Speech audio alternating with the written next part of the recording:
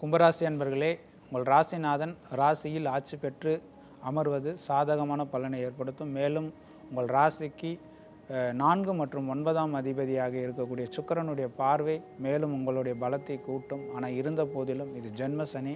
ஜென்ம சனி வந்து சற்று உங்களை சோதித்து பார்க்கும் உங்கள் நேர்மையில் கைய வைக்கும். அதனால் நீங்கள் அசராமல் உங்களுடைய நேர்மையான பயணம் வந்து உங்களை வெற்றியை அடைய வைக்கும். தர்மத்தின் வழியில் செல்லும் பட்சத்தில் நீங்கள் இழந்தது அனைத்தும் வந்து கடைசியில் வந்து உங்களுக்கு மீட்டு கொடுக்கக்கூடியவர் தான் சனி பகவான்.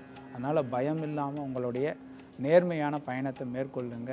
இந்த வார ராசி பலன் உங்கள் ராசிக்கு இரண்டாம் இடத்துல வந்து சாரி உங்களுடைய ஜென்ம ராசியில் வந்து இருபத்தி நான்கு இருபத்தைந்து தேதிகளில் உங்களுடைய ராசி மேலேயே கோச்சார சந்திரன் பயணம் செய்கிறது மனக்குழப்பத்தை ஏற்படுத்தும். இருபத்தி ஆறு இருபத்தி ஏழு தேதிகளில் வந்து உங்களுக்கு ராசிக்கு இரண்டாம் இடத்துல பயணம் செய்கிறது கேதுவோடு இணைஞ்சு செய்கிறது வந்து உங்களுக்கு வந்து வேலை செய்யக்கூடிய இடத்துலையோ இல்லைன்னா வந்து பார்த்தீங்கன்னாக்கா உங்களுடைய குடும்ப சூழ்நிலைகளில் சிறு சிறு குழப்பங்கள் பிரச்சனைகளை கொடுக்கும். வேலை செய்கிற இடத்துல தேவையில்லாமல் பேசாதீங்க.